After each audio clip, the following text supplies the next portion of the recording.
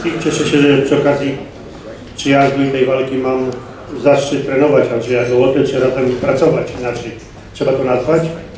Bo dla mnie jest jako trenera jest to duża mobilizacja, to co Andrzej powiedział, po 20 paru latach spotkać się i, ponownie e, przeżywać e, coś, co jak to się mówi, fajnie się rozpoczęło i mm, bardzo miło mi, że, że po tym długim okresie czasu mam okazję razem współpracować. Dziwię się, że wszyscy pytają się o trening, przecież my z Andrzejem w ogóle nie trenujemy.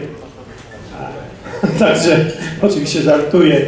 E, Trenujemy bardzo ciężko. Andrzej trenuje bardzo ciężko. Za sobą mamy już 5 tygodni e, bezpośrednich przygotowań. Ostatnia faza e, treningów. E, 16 sparingów w różnym układzie rundowym. Zostało nam dwa tygodnie. Mam nadzieję, że wykorzystamy je w racjonalny i e, wartościowy sposób. Dziękuję bardzo.